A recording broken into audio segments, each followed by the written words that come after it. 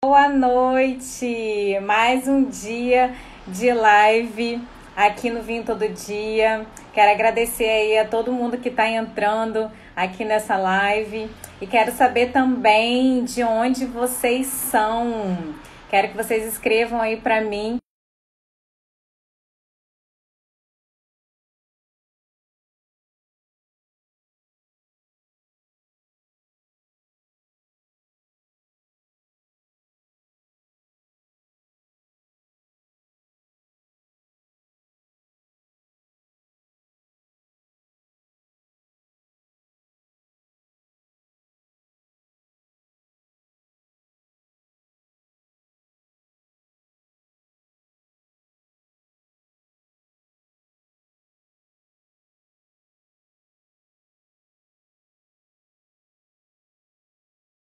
professor Gianni Tartari, ver se ele entra aqui para. Roberta, querida, boa noite, Patrícia. Estão me ouvindo direitinho, gente? Ó, a Áurea de Belo Horizonte. Sou de São Paulo. O Ângelo aqui de. Olá, Olá boa noite. de São Paulo, pois é. Deixa eu ajeitar aqui, que ela sempre sai um pouquinho do lugar quando o parceiro entra. Tudo bom, Diane? Tudo bom, Ana? Tudo jóia.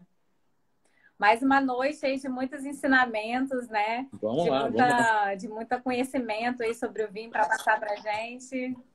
Muitas perguntas hoje? Muitas perguntas, como sempre. Ah, não tem como não ter pergunta. Olha, tem gente de Portugal aqui, deixa eu ver quem é. Que legal. Meia Gaiola, de Portugal. Estou doida para fazer uma parceria com ele.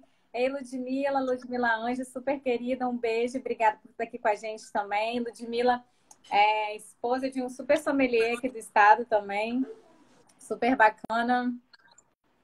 Obrigada aí, pessoal que está entrando. Bom, bora começar aqui. Eu queria dar um recadinho, Diane, é, de uma coisa bem chata que está acontecendo com a gente, bem séria, a respeito do fake, né, do, do Instagram fake criaram do Vinho Todo Dia, que é Vinho Todo Dia com dois T's. Então, eu queria dar um alerta aí para o pessoal, porque esse, eles entram em contato com, por direct das pessoas, pedindo nome, celular e tal, e acabam clonando o WhatsApp da pessoa como se fosse a gente, né? Então, fico alerta aí, não só com o nosso perfil, mas com outros perfis que estão acontecendo. Então, gente, por favor, não, não, não forneçam seu nome e seu WhatsApp é, muito menos coloquem código no seu WhatsApp, tá bom? Assim, porque isso realmente é clonagem, é golpe, então é muito feio. Eu fiquei, fico muito triste, assim. Tá acontecendo sem dúvida nenhuma. Então, eu queria dar essa alerta uma amiga, Aproveitando falando isso, uma amiga minha aqui, amiga de, da época e... do Rio de Janeiro, uma amiga minha que recebeu, ela acabou entrando no perfil errado sem querer e perguntou, pediram, é, falaram sobre um sorteio de de taça, de, de caixa de vinho, caramba, quatro, pediram o número do celular, que eles iriam enviar um código para ela depois mandar esse código.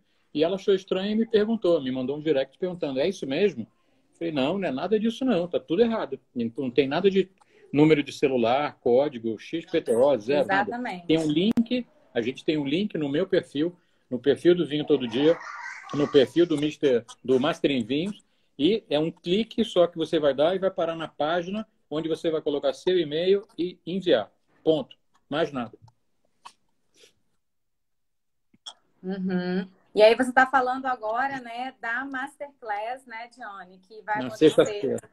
nessa hum. sexta-feira, né? Isso aí, a Masterclass vai acontecer nessa sexta-feira, dia 23, está chegando o dia, está chegando a hora. Vai ser o dia mais bacana que a gente vai fazer a nossa live maravilhosa. Não vai ser aqui no Instagram, vai ser através desse link né? Então, todo mundo tem que se clicar nesse link para poder se inscrever. Para poder se inscrever e uhum. receber o link para acesso no dia 23.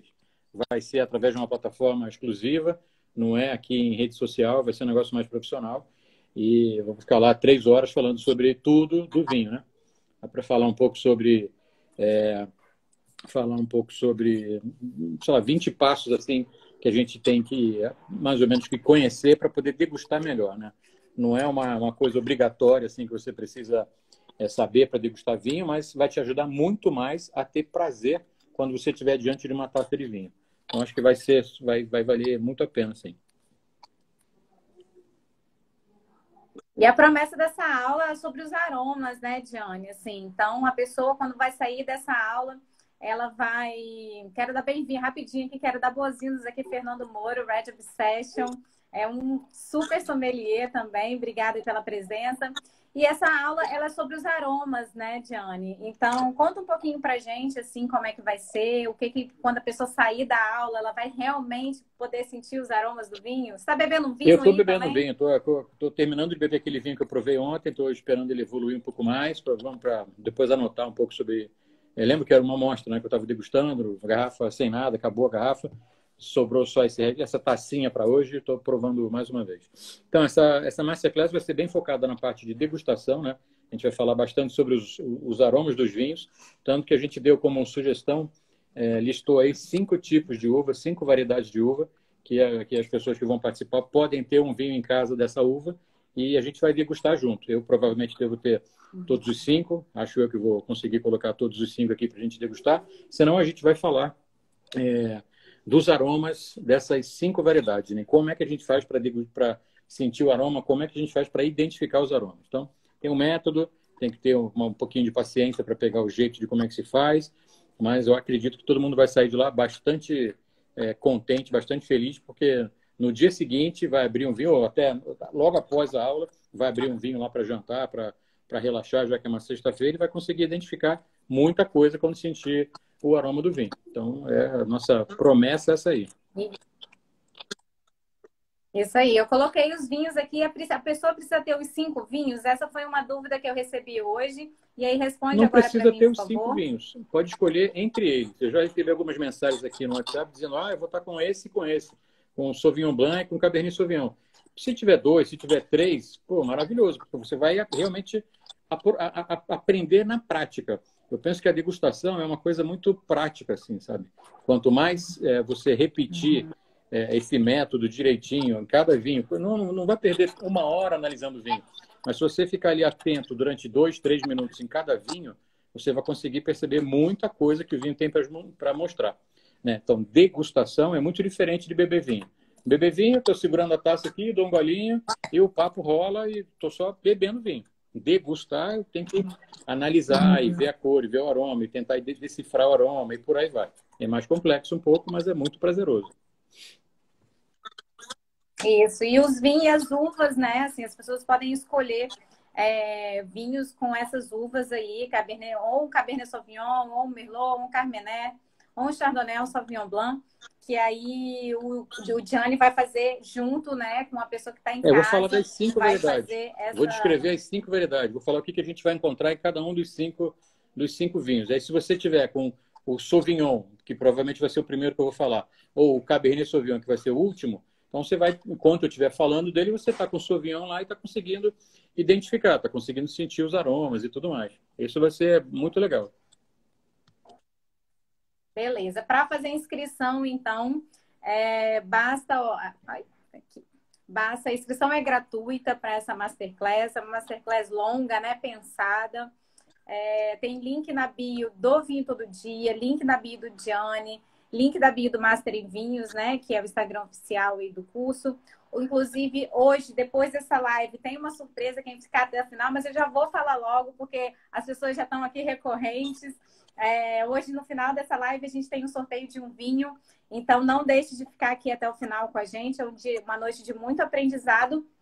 E também, é, se vocês então estão aí com 67 pessoas, 69 pessoas ao vivo aqui com a gente, é, você tem uma setinha aqui no, no, na tela que você pode compartilhar essa live com algum amigo, com alguém que realmente se interessa em aprender sobre vinho, porque hoje as perguntas estão bem legais, está incrível. A Masterclass vai acontecer na sexta-feira, dia 23 de outubro, está todo mundo convidado. Qualquer problema de inscrição também, é, ah, meu e-mail não está indo, não estou conseguindo me inscrever, manda direct para gente que a gente vai resolver. É isso aí. Tá bom? Bora Vamos começar? Lá. Vamos lá, então. Ó, escolhi aqui para você uma Opa. fotinha hoje. Ah, primeiro, primeiro eu vou colocar uma foto que a gente estava conversando ontem sobre rolha sintética, né? E rolha, e rolha de cortiça. E aí você falou de um abridor seu que quebrou com uma rolha sintética, né? E aí, ó, é a tá própria. a fotinha do abridor para quem estava é aqui a ontem. própria foto. Olha aí, eu quebrei, ó, essa espiral é uma espiral de aço e é grossa, não é fininha, ela é muito grossa. Nossa senhora. Eu tô com minha pastinha ali, eu vou pegar depois E ao você- vivo para mostrar. Ah, legal. E você também ficou, prometeu pra gente uma garrafa de champanhe que você ia mostrar aí, talvez na Ah, eu vou Masterclass. pedir para minha ajudante aqui, me, dá, me dá uma minha filha vai me ajudar. Nanaquinha, vem me ajudar aqui, Chuchu. Vê se minha filha me ajuda a pegar as coisas. Vê se ela vai conseguir. Não pega não, vou pegar a pastinha. Vou colocar outra foto aqui. Vem dar um tchauzinho aqui. A pastinha preta que tá aí, ó. Vem aqui o meu, meu chapa. Esse aqui é o Luquinha, que vai ajudar também. Dá um tchauzinho. Oi, Boa é noite, Ana Luquinha. Lucy. E a Nanoca vai pegar minha pasta. Pega aí, Chuchu. Essa aí, é. Aí, obrigado. É, obrigado. Depois eu Que linda. dá Obrigada. cara, oi, dá boa noite pra todo mundo. Tem um monte de gente vendo você. Muito bem, obrigado. Então, aqui tem a minha, minha, pasta com todos os meus apetrechos e tudo mais. E olha aqui o saca-rolha quebrado. Ó. Até é ruim de abrir. Ó, se não é o próprio.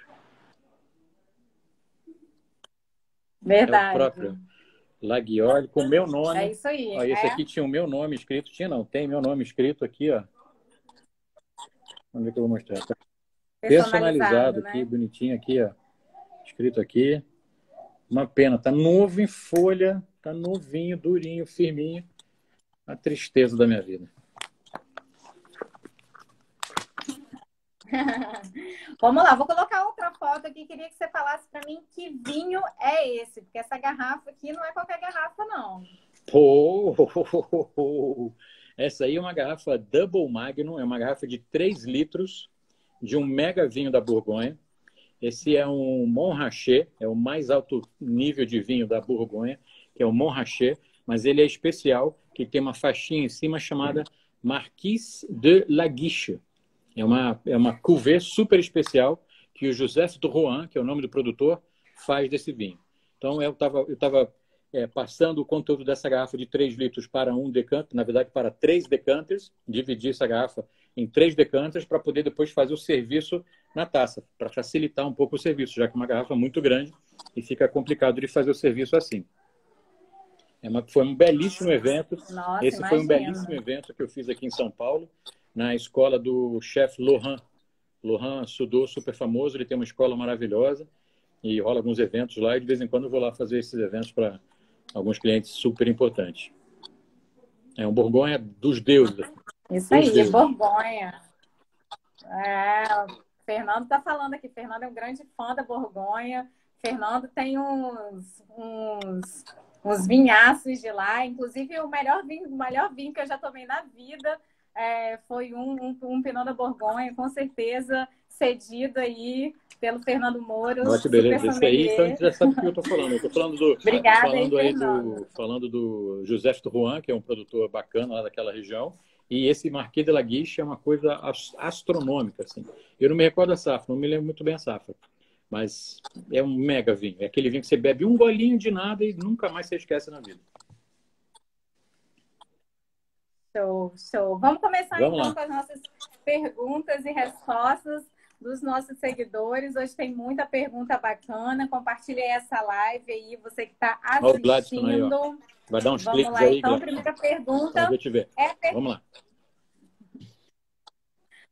A pergunta de hoje, a primeira pergunta de hoje é da Silvinha e ela fala que, que ela leu que, os espuma- que o espumante do Brasil foi considerado um dos melhores do mundo. Fala um pouquinho de como funcionam as premiações, como que está o espumante brasileiro no cenário mundial, né? Conta um pouquinho pra gente. é Hoje, verdade, hoje em dia a gente é. tem muitos, muitos concursos de vinho em qualquer lugar do mundo, né? Aqui no Brasil está para acontecer agora no Rio de Janeiro, na semana que vem, se não me engano, a maior prova de vinho do Brasil, assim, não só de vinho brasileiro, mas vinhos que serão provados aqui, de tudo.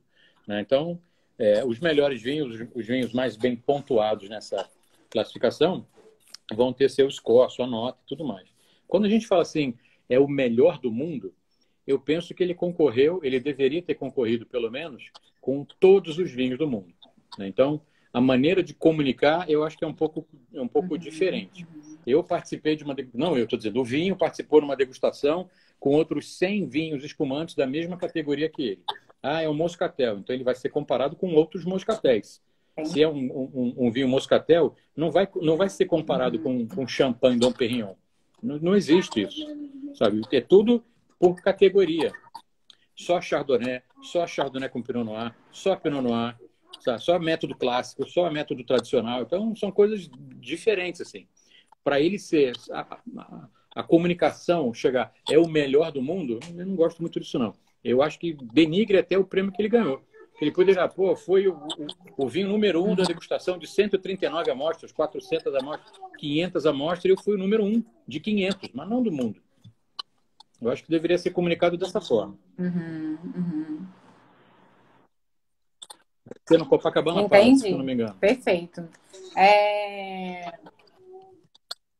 Mas, assim, realmente os espumantes brasileiros sim, sim, completando, né, estão completando, alta, né? Assim, tem uma qualidade... Completando a história, então, o vinho brasileiro, o, o, a gente já falou na, em todas as lives aqui que a gente já fez juntos, o, o, o melhor produto brasileiro, assim, produto que está muito consolidado e há bastante tempo já, é o vinho espumante.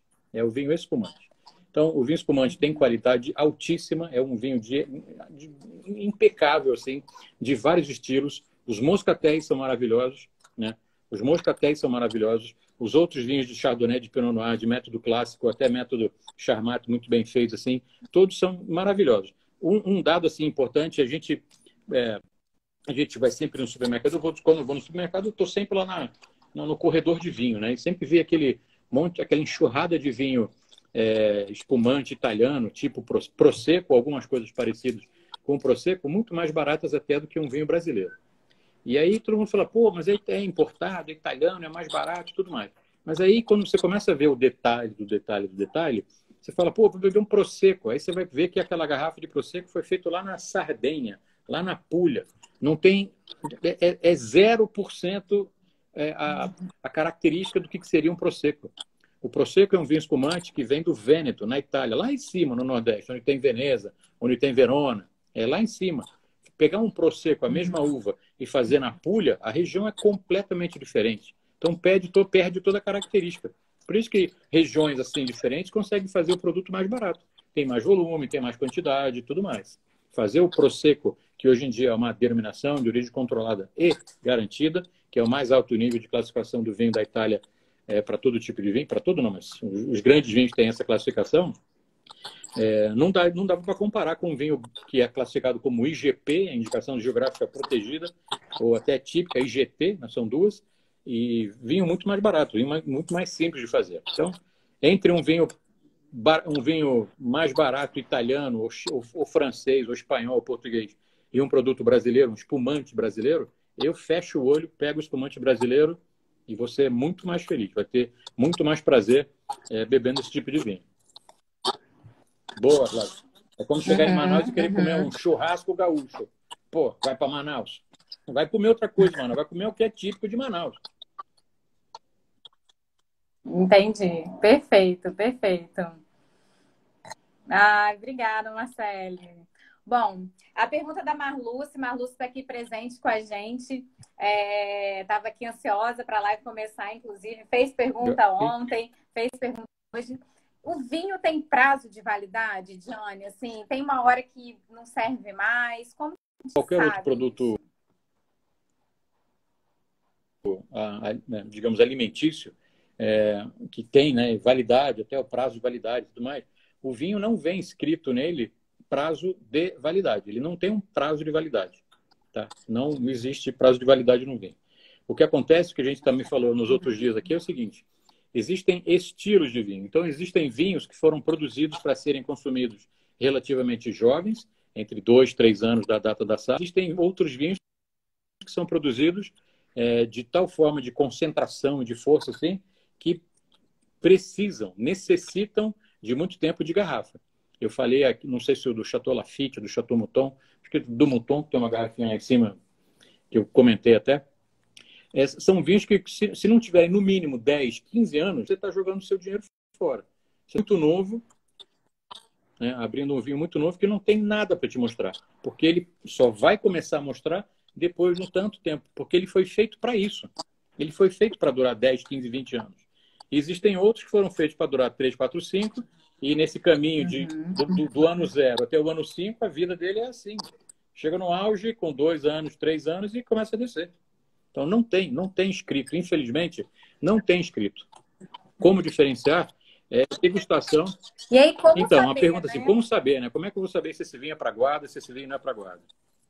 Geralmente os grandes Geralmente tá os vinhos para os vinhos para guarda são aqueles vinhos de denominação de origem controlada, são vinhos de regiões mais mais reputadas, né? Então, se a gente pegar a região do Vale Central no Chile, por exemplo, a gente já falou deles algumas vezes aqui também, é uma região que produz de tudo: Cabernet, Carmené, Chardonnay, Sauvignon e sempre tudo na média, né? A região a região central do Chile, Vale Central, não produz vinhos para longa guarda, produz vinhos para consumo relativamente jovem. Mas se a gente sai dali e vai para a região do Maipo, uhum. Vale del Maipo, onde tem Cabernet Sauvignon, é dali que vem. E dentro do Vale del Maipo tem várias localidadezinhas maravilhosas. Tem lá o Dom Melchor, por exemplo, tem lá o Alma Viva, que são mega vinhos. São mega vinhos de guarda, sabe? São vinhos para guardar, de novo, 10, 15, 20 anos, sem, sem nenhum problema. O Dom comemorou agora, se não me engano, 30 anos, 30 safras. Né? Então, é bastante tempo. Bastante tempo. Ah, o Ramai está perguntando aqui, eu não sei é Ramai, mas eu não sei o nome, é, se os vinhos com tampa de rosca podem ou não ser guardados, né? É, muito tempo.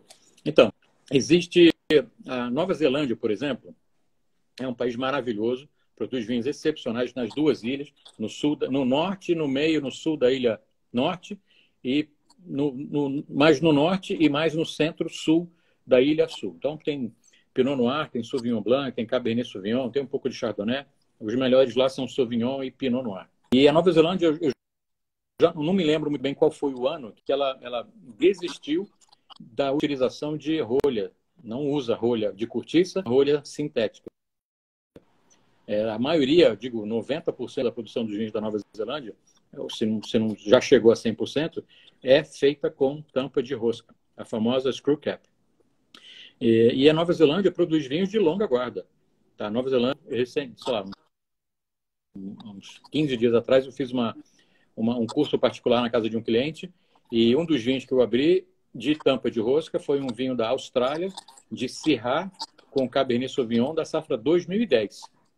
E tava uma coisa absurda de maravilhosa. Uau. Absurda de maravilhosa. Perfeito, sabe? Não tinha problema nenhum. Não tinha, o zero. Oxidação, zero. Então, aquela, a gente tem que entender o seguinte, quer tampinha de rosca? Deixa eu pegar. Os meus cursos, como é que são? Presenciais já. Tem um saquinho de rolha, com vários tipos de rolha, tem tampinha de rosca. Vou mostrar aqui. Aí, abri aqui, já vou mostrar. A tampinha de rosca, essa aqui. Ah, mas essa aqui sim. Ah, não dá para ouvir. A tampinha de rosca, que é essa aqui. Ó, a gente quer ver tudo, aqui, Johnny. Pode mostrar. A tampinha de rosca, quando você quebra, lá dentro, essa película aqui, tá vendo? Essa, essa tem uma, tipo uma chapinha aqui dentro. Dá para ver? Aqui. Dá para ver, né? Lá dentro. Uhum. Ela fica, ela fica, ela fica quase que grudada na boca da garrafa. Tá? Fica vedando muito. Quando eu abri esse vinho em 2010, que eu tirei a rosca, a tampinha estava grudada na garrafa, estava fechada. Eu tive que fazer assim, ó, para fazer o pof, para soltar. Então, aquilo ali fica grudado no vidro, evitando a entrada de oxigênio. Então, não vai ter problema de oxidação, não vai ter problema de vazamento, nem nada. Alguns vinhos, Austrália, alguns países, quer dizer, Austrália, Nova Zelândia, produzem vinhos, sim, maravilhosos, que podem suportar longa guarda. Tem uma rolha bacana aqui, não sei se todo mundo já viu, a rolha de vidro.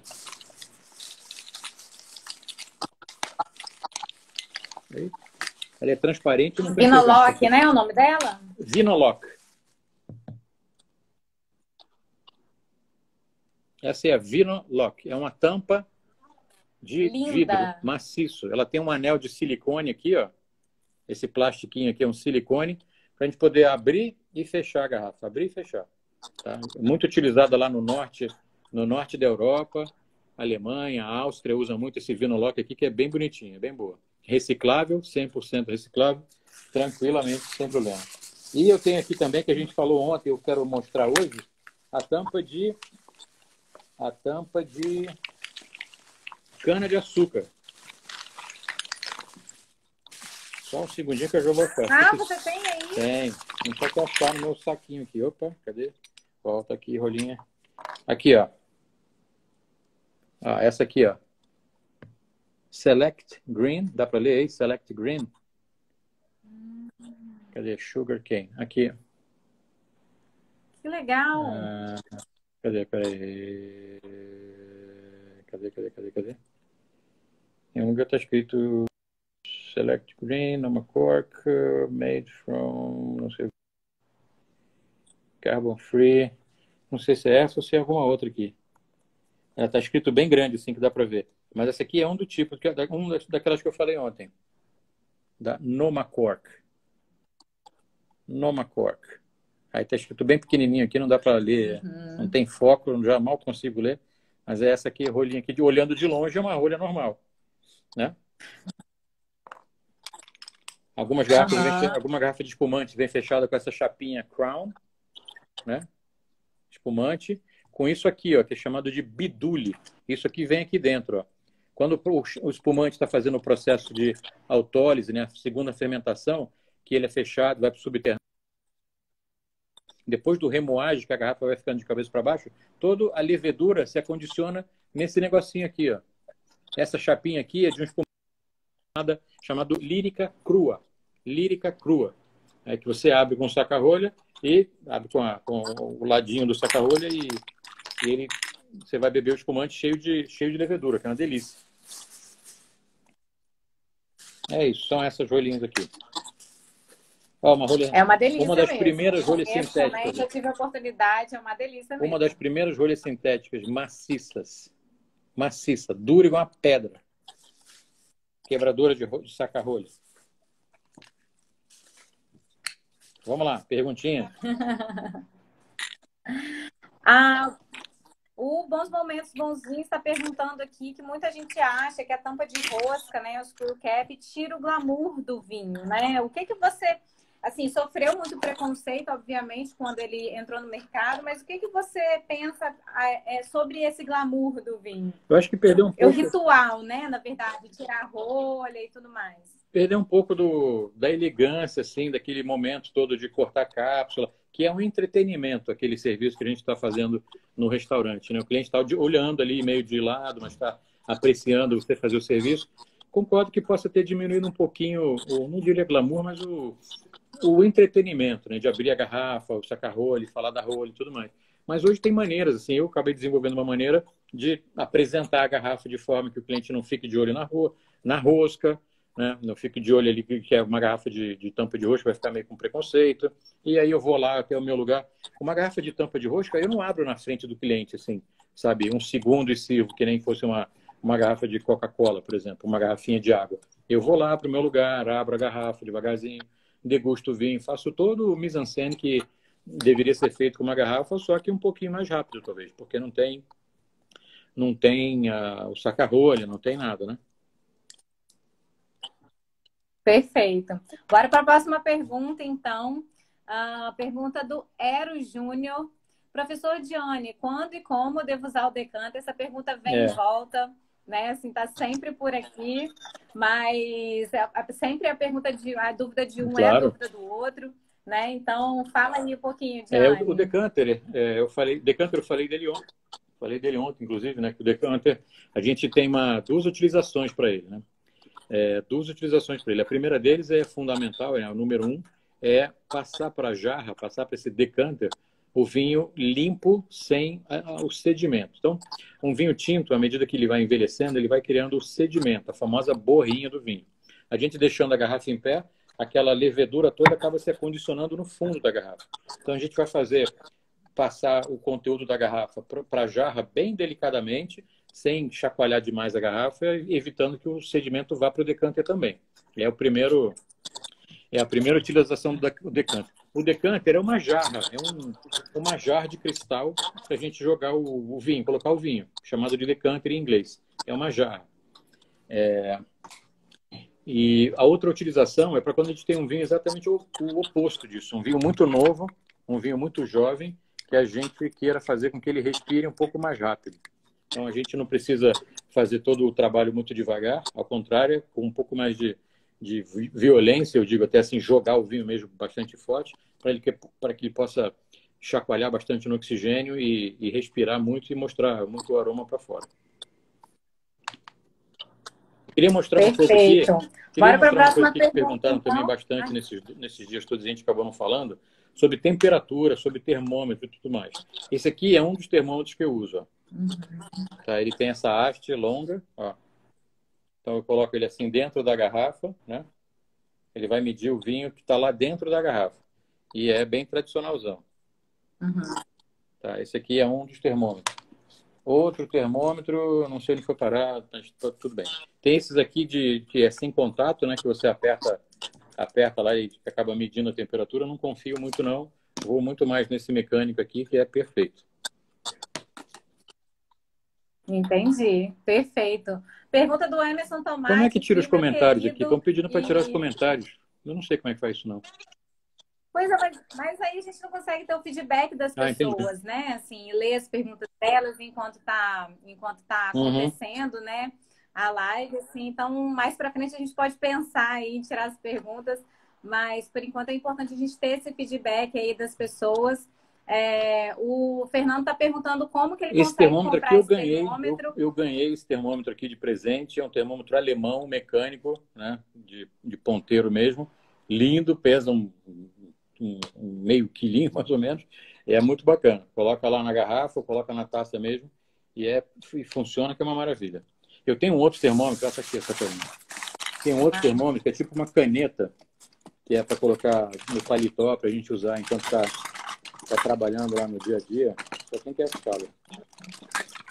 Ai, meu Deus. Aqui é essa carrolha. Tem muito apetrecho de. Chega. Aqui, ó, isso aqui é um saca-rolha tipo caneta que eu coloco dentro do paletó. Né? Então eu giro aqui, ó, e ele sai daqui de dentro com o termômetro, tá? Eu posso colocar isso aqui na garrafa, como ele tem essa, essa parte quadrada, ele não entra, não passa pela boca redonda da garrafa. Ou então colocar na taça. Assim, tá? E já já a gente vai ver a temperatura que eu estou bebendo vinho, que deve estar um pouquinho fora do normal. Deve estar um pouquinho mais quente que deveria, mas aí para eu fazer a avaliação de vinho mesmo, para escrever e, e, avaliar como o vinho está, eu acabo bebendo vinho a temperatura de 18 graus, 20 no máximo. E aí é o vinho que não vai me mostrar nenhum defeito. Dizer, vai ficar, não vai mascarar nenhum defeito. Entendi, perfeito. Pessoal, obrigada aí. Mais de 100 pessoas aí com a gente assistindo essa live. E a gente está aqui, na verdade, estudando um pouquinho de vinho eu na minha casa, você na sua casa, cada um nas suas, nas suas casas também. E aí o Emerson, meu digníssimo Opa. marido, perguntou, meu parceiro aqui no Vinho Todo Dia, perguntou se é realmente possível estudar vinhos pela internet. A sua masterclass que a gente vai fazer na sexta-feira é sobre aromas. Como é que a gente estuda aromas pela internet? Fala um pouquinho sobre esse novo momento que a gente está vivendo, né? E, e você que é um professor presencial, né? Assim, fala como é que está sendo a sua experiência também de ensinar vinhos online, como que as pessoas realmente estão aprendendo, que eu tenho certeza, 100 pessoas online que eu tenho certeza que eles estão aprendendo Então, a gente sempre, eu sempre tive esse, esse, esse problema, não sei nem se é problema, mas eu tinha sempre essa, esse preconceito, assim, mas como é que eu vou fazer um curso de vinho online? Eu, eu, vou degustar o vinho e a pessoa vai ficar ali vendo. É como, se, é como fazer uma coisa pela televisão, né? Ah, essa comida está maravilhosa. Eu não estou com a comida aqui, não estou sabendo se é maravilhosa. Né? Então, como a gente conversou durante esse tempo todo que a gente está desenvolvendo isso, é... Tomate, ó, perguntinha sua, cara. Vou responder. Três horas de resposta, hein? é... Grande Rui, grande Rui, grande abraço para você também. Obrigado, obrigado por estar tá aí assistindo a gente. É... Como a gente está degustando vinho assim, e, e, hoje em dia está muito mais fácil de fazer essas lives e tudo mais, a gente acabou encontrando esse sistema de fazer a degustação bacana mesmo. No curso a gente vai ter como fazer isso, né? Na live a gente vai fazer dessa forma, a gente tem cinco opções para todo mundo escolher, você pode ter um, dois, três ou quatro, ou cinco vinhos e degustar junto comigo e eu vou comentar sobre cada, um da, cada uma das uvas, né? É, então, eu, eu, desde que começou esse problema todo que a gente está vivendo, o mundo inteiro está vivendo, que é a pandemia, é, toda essa parte tecnológica acelerou bastante tudo no mundo. Né? O vinho também não ia ficar de fora. Então, como eu, eu de lá para cá fiz muito, de, de maio para cá, fiz muitas, muitos eventos para empresas, né? muitos eventos corporativos, e acabou, acabei, tipo, concluindo, né? chegando à conclusão que era muito fácil da gente fazer um curso, é, um curso de vinho online, fazer com que as pessoas degustem o mesmo vinho que eu estou degustando, e é a única maneira que a gente vai ter de fazer com que a pessoa aprenda à distância mesmo. Quando a gente está numa sala de aula, fica muito mais fácil presencialmente, porque a gente pega uma garrafa e divide para 10, 12, 15, sei lá quantos, uma, duas ou três, dependendo do número é, do número da turma, quantas, quantas pessoas tiver na turma, e virtualmente eu acho que isso é bacana. Eu não gosto, eu já vi muitos assim, pegando uma garrafa de uma garrafa grande, dividindo em garrafinhas. É, não sei não, porque eu já fiz um, experiências com garrafinhas quando comecei a montar meu negócio lá e não dá muito certo não. Ou você usa na hora e eles têm feito isso, mas mesmo assim tem minhas ressalvas. E eu gosto de fazer com a garrafa que você vai abrir no momento, a garrafa original que você vai abrir. Então, vai ser interessante fazer isso dessa forma e eu acredito que vai uhum. ter muita gente é, participando desse, da, da Masterclass primeiro e depois do, de um curso que a gente vai montar. Beleza. Bora para a próxima pergunta, então. Como saber se o vinho está Essa... com defeito, né? Assim, que é uma diga, coisa diga é a gente, assim, gostar ou não gostar de um vinho, né? Assim, a gente pode não gostar do vinho, mas não é quer dizer que o vinho está com Perfeito. defeito, né? Como, quais são as características que, que, que, o vinho apresenta quando ele realmente está com defeito? Muito bem, ótima pergunta essa, porque muita gente acaba achando que o vinho está estragado sem saber direito se está ou se não está. E vice-versa também acontece, de beber vinho com defeito e achar que está o máximo. Uhum. Né? Então, é, a degustação, como uhum. eu acabei de falar, a degustação é, tem que ser feito com uma certa atenção. Não, você não precisa passar a noite inteira olhando para o vinho, mas se você fizer isso durante dois minutos, três minutos, no momento da abertura da garrafa, ele vai te dar um monte de informação bacana. Só de olhar, não nem encostar o dedo, nem encostar o dedo na taça. Só de olhar para a cor dele, você já vai ver algumas coisas interessantes. Então, caso a gente tenha um vinho branco, é, degustando um vinho branco, e, ele apresentar uma cor amarelo muito carregado, um amarelão, ouro, é para já ter um certo cuidado.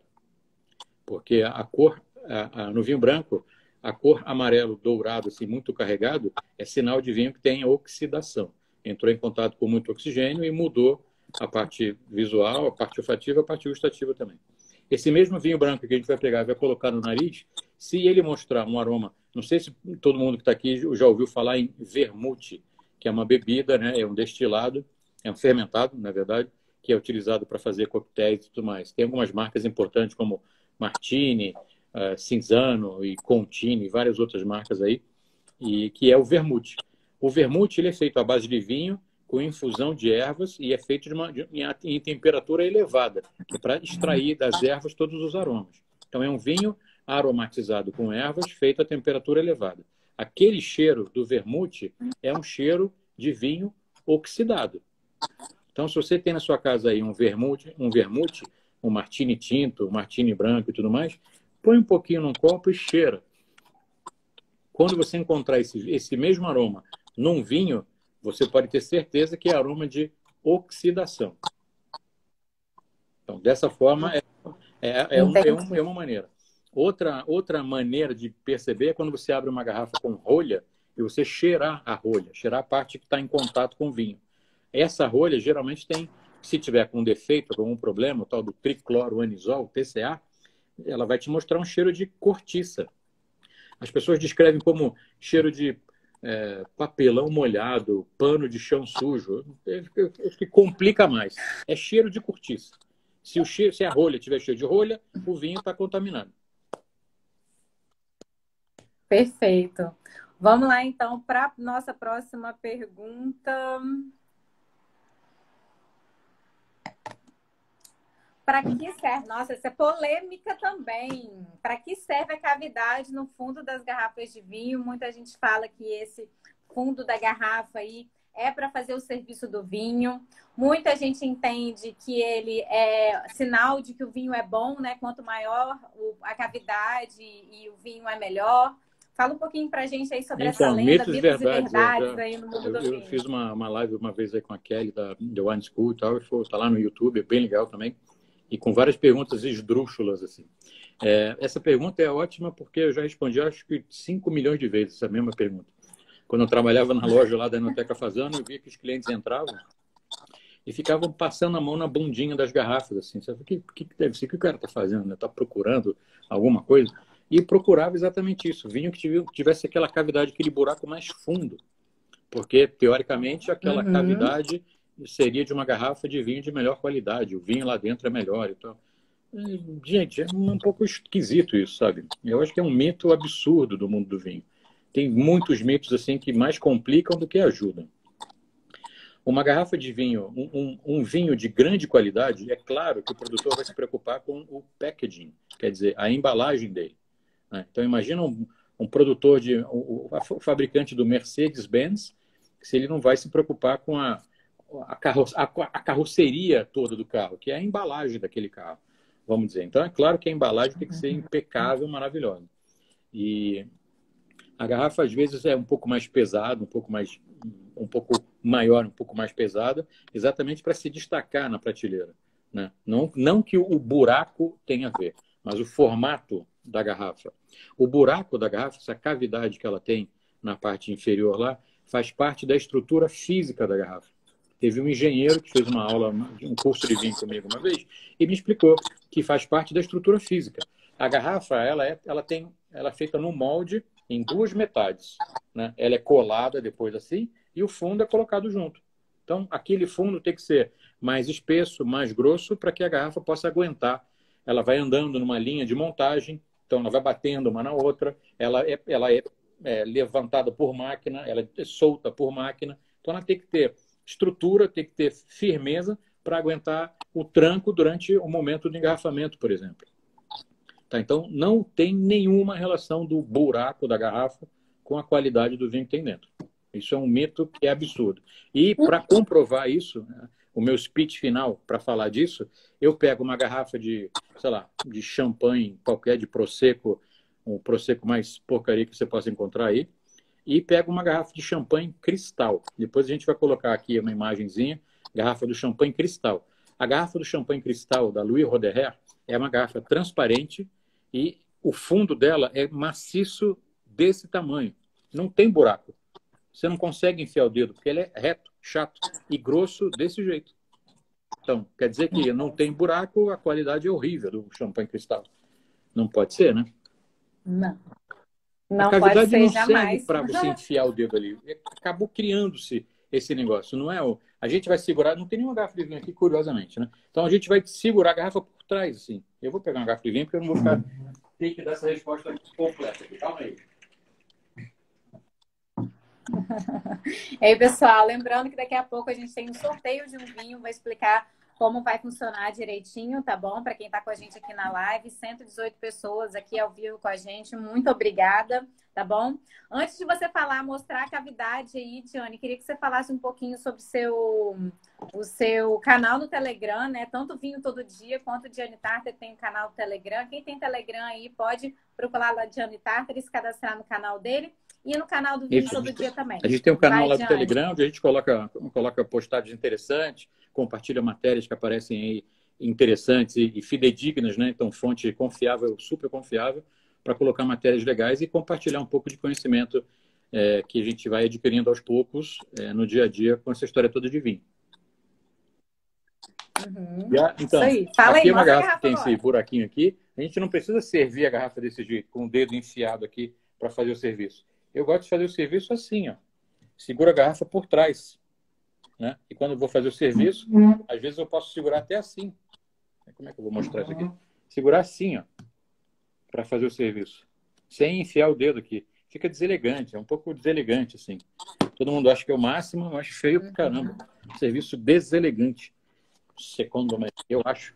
É um serviço é, na verdade, eu queria falar um pouquinho disso. Eu queria que você falasse exatamente isso. É como segurar a taça também, né? A taça, ela tá aqui, tem a haste para a gente segurar na haste. Então, Fala taça... um pouquinho disso, Diane, que é sempre tão é, A taça tem três né? partes, assim, nessa parte aqui que a gente coloca o vinho, que é o bojo, depois essa parte aqui que é a haste, e essa parte aqui que é o pé, ou a base. A gente pode segurar a taça por aqui, ó, pela, pela base, para passar para alguém ter onde pegar. Pegar pela haste. Né? Pode segurar assim e segurar aqui para passar. A gente não deveria segurar o vinho assim, não deveria segurar o vinho assim. Assim você vai esquentar o vinho e vai sair da temperatura. E assim é feio. Só isso. Não vai estragar o vinho, não vai estragar a sua degustação. degustação. Mais elegante segurar por aqui. Fica mais bonito. Aí foi feito para poder se segurar aí também. Isso aí. Show. Muito bom. Vamos lá. Qual melhor uva para vinhos jovens? Existe isso, Johnny? Eu acho que deve ser o contrário, né? Qual é, na safra 2018, qual foi as uvas que melhor ficaram? Não, não existe uva para vinho jovem. Não entendi muito bem a pergunta. Eu penso o seguinte, é, vinho jovem, vinhos 2018, 2019. 2018, jovem já é mais ou menos, né? 2019, sim, são vinhos bastante jovens. É uma safra recente, quer dizer que o vinho feito nessa safra ainda é muito novo. O branco, o tinto é muito novo. Alguns podem durar muito tempo, outros podem já ser já podem ser já pode se começar a beber inclusive. Eu já bebi esse ano já bebi um vinho um vinho branco 2020, um vinho da Argentina, um uhum, vinho da, uhum. da, da safra do ano, uma delícia, fresquinho.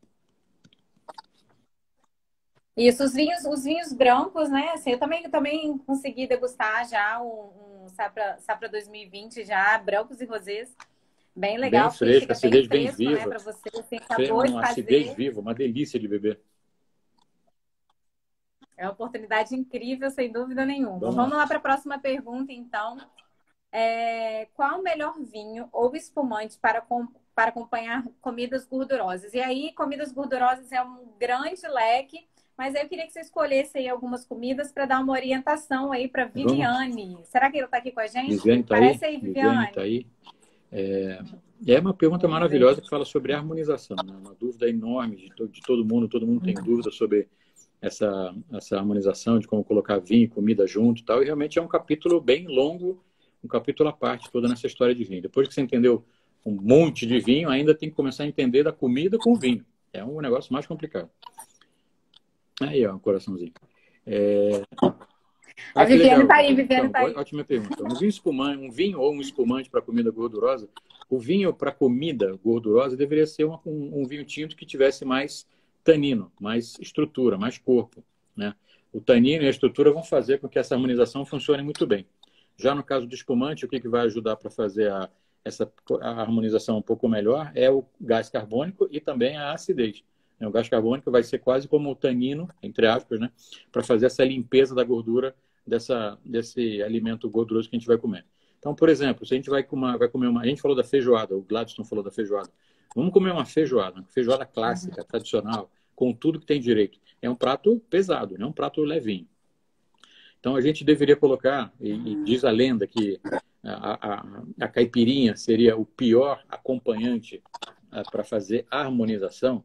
Ela pode ser ótima, pode ser não, ela é ótima, na verdade, para a gente beber de aperitivo, mas não para fazer harmonização. É, então, para fazer uma harmonização com a feijoada, eu colocaria um vinho tinto com tanino mais alto, um tanino mais aparente, por exemplo, né, que bem vivo até, ou então um vinho espumante de ótima qualidade, muito fino de perlage, mas com acidez maravilhosamente fresca, né? então acidez mais alta. O espumante, por natureza, ele já tem acidez mais elevada que o normal, né? Então faz com que essa acidez possa ajudar na harmonização e fazer essa essa prática com a feijoada. Eu acho que fica, fica a dica aí, Ana, para a gente, é, quando assim que puder todo mundo se reunir de novo, vamos marcar uma feijoadaça para um pessoal aí de mais próximo e abrir umas garrafinhas de espumante e comprovar isso. Aí a gente filma e mostra para quem não pôde participar. Muito bom. E eu acho também que a gente deve fazer uma live só sobre harmonização, sobre perguntas e respostas de harmonização. Eu acho ótimo. O que, que você acha, Johnny?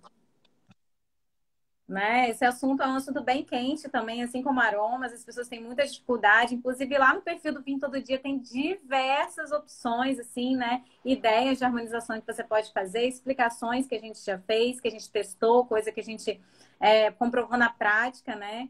Então, muitas fotos bonitas lá, nos destaques lá, todos os destaques, a maioria são, são uhum. harmonizações. E agora eu queria te fazer uma pergunta. Vou botar ah, tem duas aqui no feed, ó. Que é rapidinho aqui no feed está subindo aqui duas perguntas interessantes. Uma delas é uma indicação, na verdade, do Ricardo Zampieri, meu amigo aí da Mistral, falando de um Barbeira d'Asta, que poderia combinar bem com a, com a feijoada. E o Red Obsession falando aqui sobre um vinho branco Riesling, do, do domaine Wachau, de 94. Wachau é uma denominação, é, uma, é o nome de uma vinícola, é o nome de uma região da Áustria também, que é um espetáculo. E vinhos da Áustria de Riesling, Riesling da, da Alemanha e da Áustria. Riesling é uma uva espetacular. Eu falei dela ontem, sei lá se ontem ou se anteontem, são várias lives seguidas aqui, não me lembro muito bem qual. Mas a Riesling, desde que bem guardada, 20 anos é bico, tranquilo. Eu canso de ver no meu Instagram, só tenho só sigo gente que bebe vinho de todo tipo de vinho e tem vários assim que bebem estão uhum. abrindo agora Riesling da Alemanha de 74, 79, sem medo nenhum. Vinhaços que aguentam, se evoluem bem. Então tem muita estrutura, muita acidez, muito bem para guardar, para se guardar bastante tempo. Vamos lá. Bora seguir, bora seguir o Red Obsession também. O Instagram dele é incrível, só vinhaço. Pode seguir ele também, seguir tá, Diane? Por favor. Vamos lá. A próxima pergunta é uma pergunta minha, ah. Johnny, que eu quero saber. também tenho o direito de perguntar, né? Mandei uma pergunta lá do meu perfil pessoal. Inclusive, quem não me segue, pode ir lá me seguir, a Ana, com dois N's, ponto vinho todo dia. Em breve, novidades por lá também. E aí a gente recebeu da Luiz Argenta um vinho laranja, um vinho feito em terracota. E eu queria que você explicasse aqui pra gente o que é um vinho laranja e, se possível, ainda dar uma diquinha de Vinho laranja é aquele vinho feito de, de laranja? Que parece um suco de laranja? Não, não tem nada a ver. Vinho laranja é uma, é, uma é, é, um termo bem estranho, assim, porque muita gente usa esse termo vinho laranja. É, já tive uma vez uma degustação com um produtor de um vinho desse, dessa categoria chamado Gravina, que é o, o mago do vinho do vinho âmbar lá na região da Itália, no, na região do Friuli. E ele falou que o termo não, ele não chama o vinho dele de laranja, ele chama o vinho dele de vinho âmbar. É, âmbar, a cor âmbar, âmbar. né? Tem vários vinhos interessantes. O que é o vinho laranja? O vinho laranja, o vinho âmbar, é um método de produção, né? Então, um método de produção que parece que é uma novidade maravilhosa, mas é uma novidade que tem um pouco mais de dois mil anos, né? É uma novidade que está sendo é uma, é uma antiguidade, digamos, é uma forma de se fazer vinho secular, da época dos romanos até, dos gregos antes ainda, e que está sendo reutilizada hoje em dia, está sendo refeita hoje em dia. Consiste em você colocar os cachos inteiros dentro de, uma, de um grande recipiente de, de, de terracota, de, terracota. Como é que chama? de argila, vamos dizer assim, né? feito de, de terra, e deixar lá fermentar longamente, sem controle de temperatura, sem grande, sem grande é, manipulação por conta dos enólogos, só o controle diário para ver se está tudo andando de, de forma correta. Eu já tive a oportunidade, uma vez lá na região do Alentejo, se não, agora acho, acho que é não, Alentejo, visitar com o pessoal da, o pessoal da, da Pedra Cancela, que eles têm no, no lá no Dão, tem propriedades em todos os lugares, e no Alentejo a gente visitou lá. E a gente foi numa, numa, numa construção bem pequenininha assim, que tinha oito ou nove ânforas, ânforas, né, verdade? Ânforas antigas, e tinha o ano de produção da ânfora. Tinha ânfora que tinha a idade do meu pai, 1934. Então, no meu stories aí, no meu, no meu feed do, do, do Instagram, aproveitar quem não me segue, por favor, me siga também, é, vai encontrar aí eu falando sobre isso. Eu mostro uma foto lá que aparece. 1934.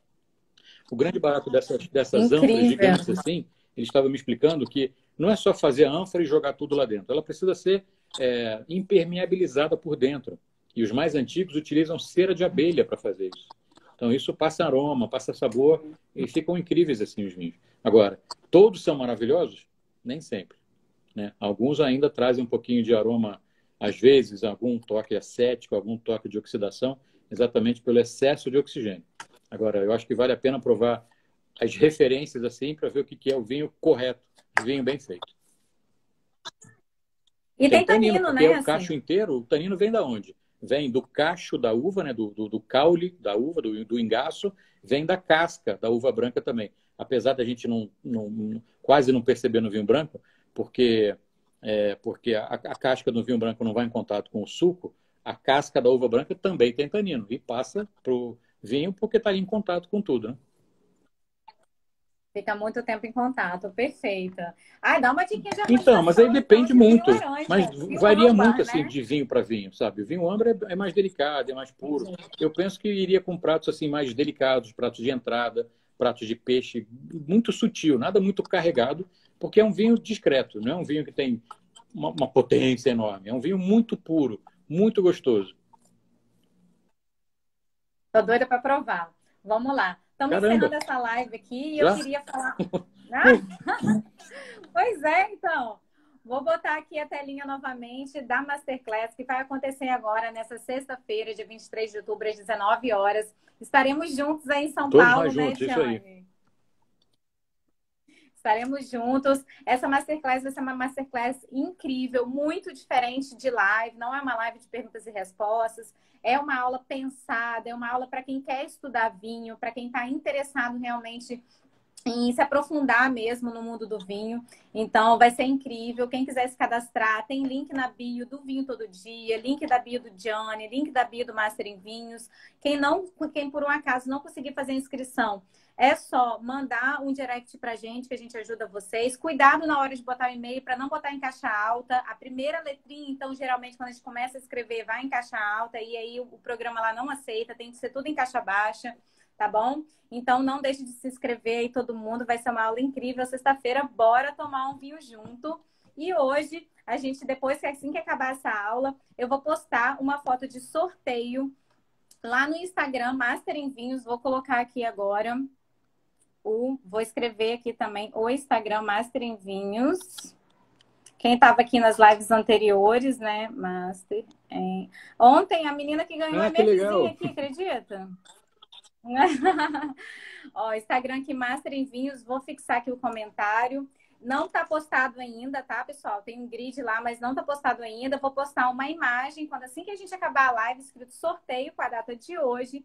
E aí vocês vão comentar nessa postagem eu quero apenas uma vez, tá bom? Para vocês participarem do sorteio que vai acontecer hoje às 10 horas da noite.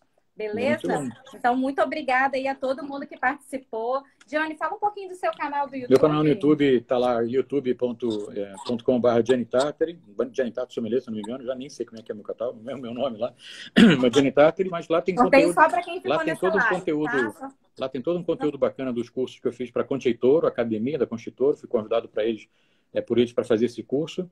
Tem umas aulas bem interessantes lá.